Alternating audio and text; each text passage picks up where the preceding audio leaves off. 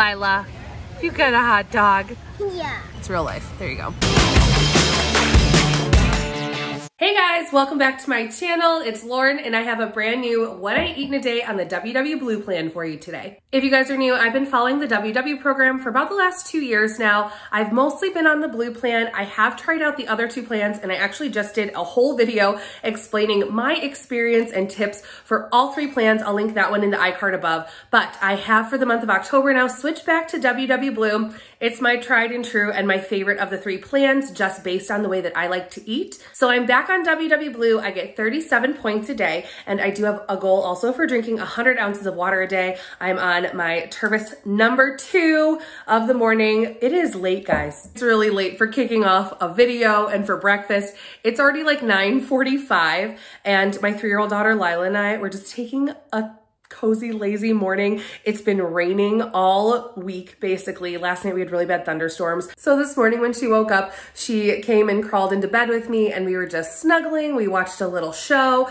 and just like had a lazy morning because some days you need a lazy morning. She doesn't have preschool today, so I took advantage of the cuddle time since I don't get it as often. But now it is late and we're both very hungry and I have something fun I wanna share with you guys for breakfast. So I'm gonna be making some French toast for breakfast this morning. I shared with you guys in her first day of school vlog way back in September. She really likes to eat peanut butter and jelly sandwiches when she's at school. And what I do is I cut them with like a heart-shaped cookie cutter. So they're a good size for her. She can hold it and it's fun. Hopefully she eats it when it's cute and cut into a heart shape. But I've been saving all of the scraps from cutting out the heart because I didn't want to throw away a bunch of sandwich and I cut them into little squares. I saved them in a little Ziploc bag and had them in the freezer. So I just poured them out now. They're defrosting a little bit and I'm going to turn these into peanut butter jelly French toast. This is such a fun idea for kids. It's less wasteful when you make them peanut butter jellies if you have kids that like the crust cut off or you're cutting out um,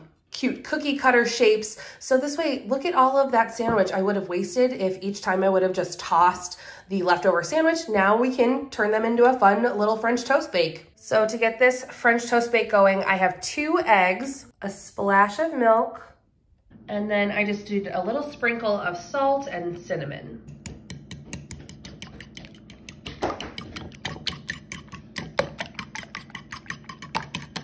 Now, depending on the amount of time you have, you could just take the individual pieces of French toast, dip them in the egg batter, and then pop them on the stove in a pan, just like you'd make regular French toast. But my favorite way to do this when it's all pieced up like this is kind of doing a French toast bake, which ends up being almost like a bread pudding. So good. So I'm just gonna transfer our little PBJ bites into an oven safe pan, pour the egg wash on top, and then you bake it in the oven. You could do a bigger batch in a large round cake pan. You could do like a loaf pan. I think today we're gonna use a muffin tin and do little individual French toast muffins.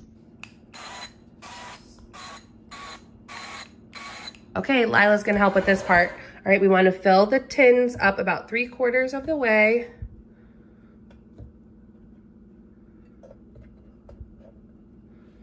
Push them in there.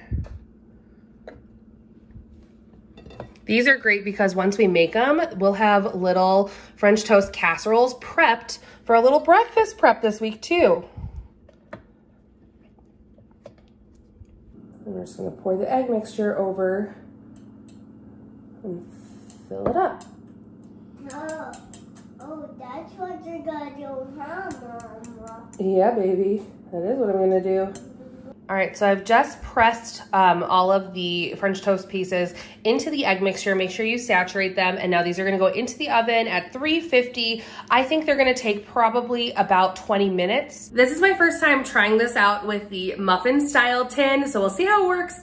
I do think this would work out so well to do a WW more friendly version of. I'm just using up my kids' leftover PBJ scraps, so it's a little bit hard to figure out points for those, but you could easily use a lower point bread, use PB Fit powder to make a lower point peanut butter or a sugar-free jam, and make up maybe just a couple PBJ sandwiches. If you're not someone who's just like saving kid scraps, you could easily just make up like three peanut butter jelly sandwiches and cut it into pieces and recreate this. Well, our French toast is gonna take a little while and uh, that tiny one is not having waiting. So I'm actually gonna make up some regular French toast for us for breakfast and then we'll have these prepped and ready and we can use them as snacks or breakfast another day this week. So I'll still share with you guys how they turned out, but I'm gonna make up some regular French toast, which is the same egg mixture that I just showed you. And I am using the Sara Lee Artisano bread, which is three points a slice. So it comes in a little bit heavier on points, but now that I'm back on the blue plan, that egg wash mixture is zero points. It's just two eggs, which are both zero on the WW blue plan, and a splash of milk, which isn't even gonna count enough for points, salt and cinnamon. So I'm just gonna dip some bread slices in that and cook them up on a pan. And then I'll share with you guys how we're gonna top them and serve them when I finish them.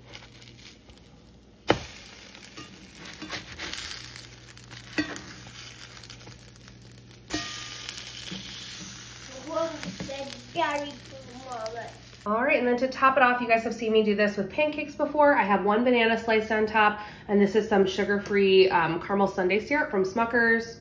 I also would normally come in with some of these pecans, crush them up and add those on top, which is really good, but I'm gonna skip the points on those today. And also we're just hungry. It's late this morning, so I gotta get eating something. Look at how cute these turned out, guys. These little French toast muffins.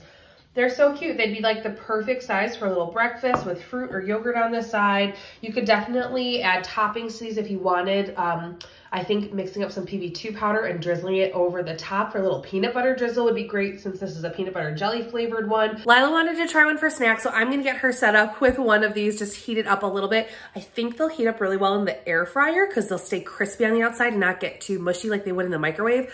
So I'm gonna do that for her. I'm not quite hungry yet. It is noon, but we ate breakfast so late, so I'll probably have a later lunch today um, and skip a morning snack, which is something I've been doing recently. I've been trying to do more like five or six eating times throughout the day, um, including meals and snacks, but we got a late start today. So I'll be back with lunch in a little while. Time for lunch. Okay, yesterday on my Instagram, I actually shared a really yummy, easy recipe. Crockpot salsa chicken is so simple. All I did was in my crock pot, I threw in two chicken breasts, a cup of chicken broth, about two cups of a fresh pico de gallo style mild salsa, and one can of black beans. Together, that is a zero point mixture per serving on the WW Blue plan. And that way, when I prep it in the crock pot, it makes a lot of it so you have meal prep ready for the week. We can use it for tacos, burritos, salads, or just eat it by itself with some other sides. And that's many meals ready for the week. Today for lunch, I'm making mine into a burrito bowl. For my burrito bowl, I have one cup of brown rice. I had made some of this the other night to go with the salsa chicken, so I had some left over. So I just heated up that along with um, about a cup of the salsa chicken. Then to top it today, I have some shredded lettuce, two tablespoons of shredded sharp cheddar cheese. I'm using the Fage plain non-fat Greek yogurt as a replacement for sour cream. And then for some good flavor, I added some of these Trader Joe's rolled corn tortilla chips in the chili lime flavor. These are such a great addition to burrito bowls or salads to add just a little bit of spice and flavor and a little crunch, kind of like a crouton. So that is my lunch today. So the salsa chicken is zero points, but the rice plus the other toppings are gonna make this a 10 point burrito bowl for lunch. And then also, this is like, I've been so thirsty today, guys. I'm already on like my fourth tumbler of water, and I'm pretty sure the Tervis cups hold 32 ounces.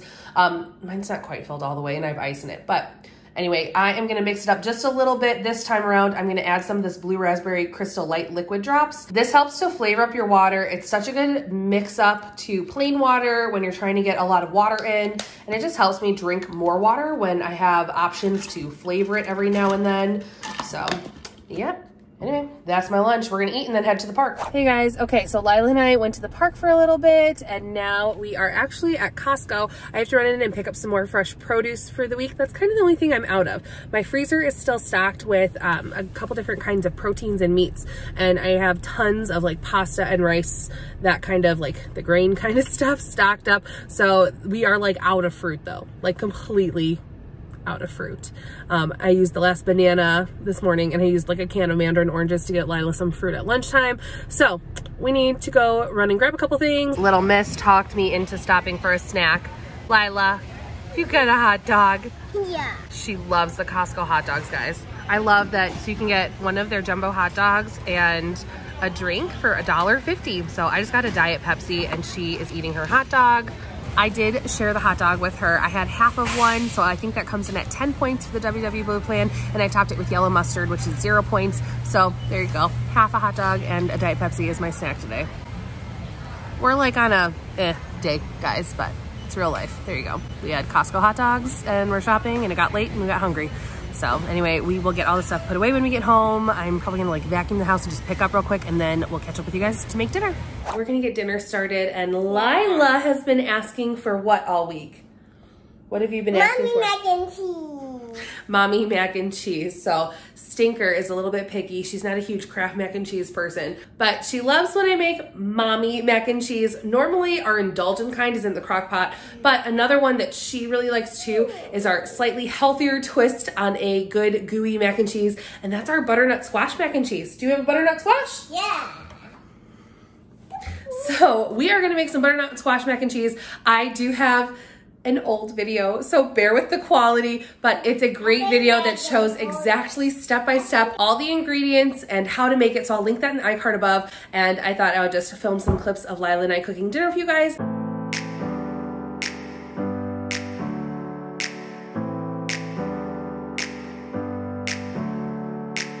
Never up, never down, never Oh. like a theme in a song. Clever, feeling high,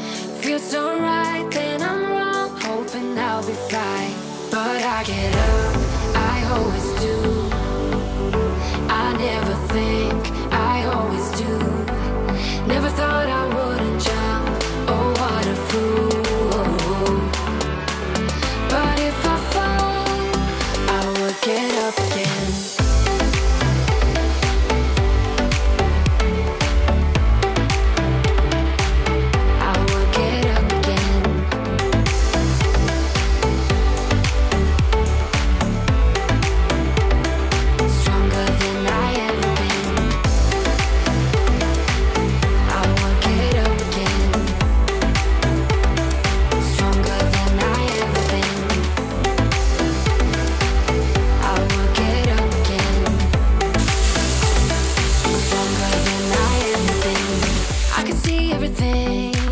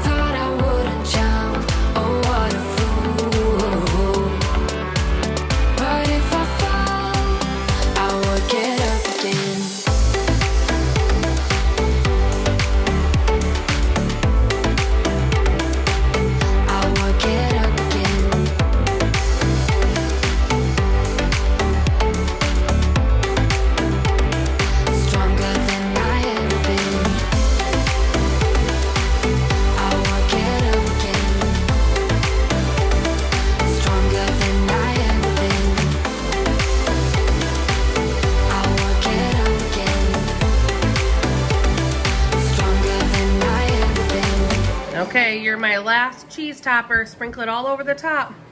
And then we're just gonna pop it in the oven and bake it off till the top is all melty. Good sprinkling.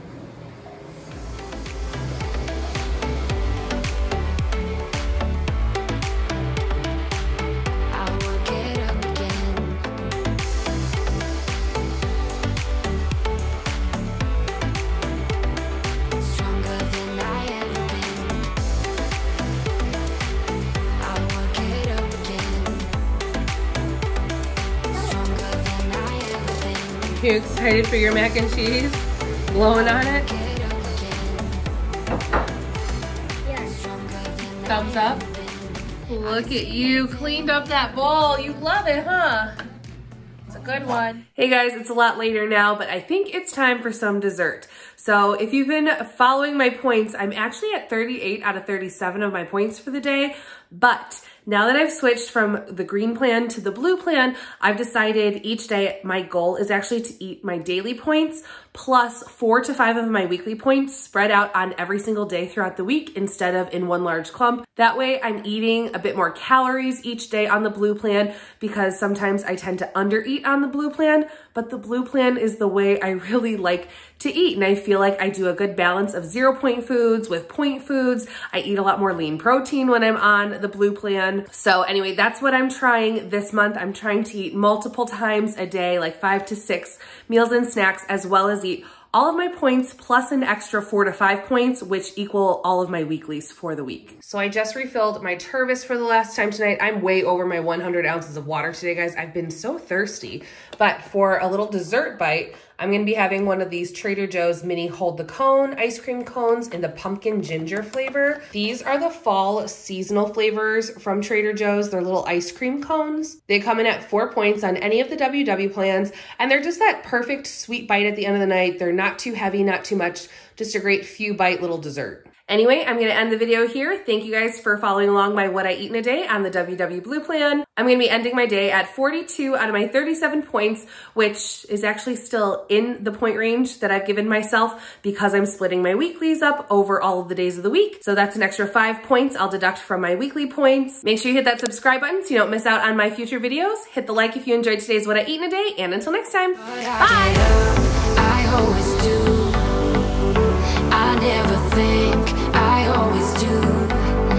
thought I